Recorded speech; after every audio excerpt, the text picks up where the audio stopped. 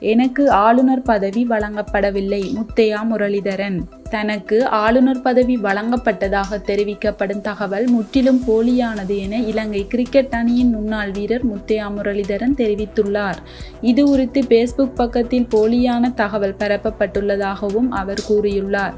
இந்திய ஊடகம் ஒன்றுக்கு வழங்கிய விசேட செவ்வியிலேயே அவர் இதனை தெரிவித்துள்ளார். தொடர்ந்தும் கருத்து வெளியிட்ட அவர் நான் எந்தவொரு சந்தர்ப்பத்திலும் அரசியலில் ஈடுபடுவதற்கு ஆர்வம் காட்டவில்லை. நான் ஒரு விளையாட்டு வீரன் அரசியல்வாதி அல்ல.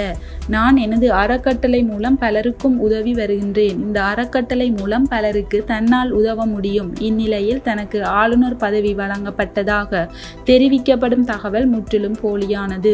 இதனிடையே தமிழக அரசியல்வாதிகள் இலங்கையர்களின் பிரச்சனைகளை புரிந்து கொள்ளவில்லை. அவர்கள் எங்கள் அரசாங்கத்தை தொடர அனுமதிக்க வேண்டும். ஜனாதிபதி கோட்டாபய ராஜபக்சவை நான் ஆதரிக்கின்றேன். ஏனென்றால் அவர் நாட்டை வழிநடத்த சரியான நபர். அவர் ஆட்சிக்கு வருவதற்கு முன் நாட்டில் எந்த முன் முன்னேற்றமும் இல்லை.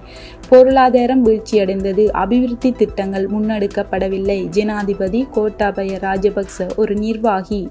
முன்னாள் பாதுகாப்பு செயலாளர் மற்றும் இராணுவ வீரர்.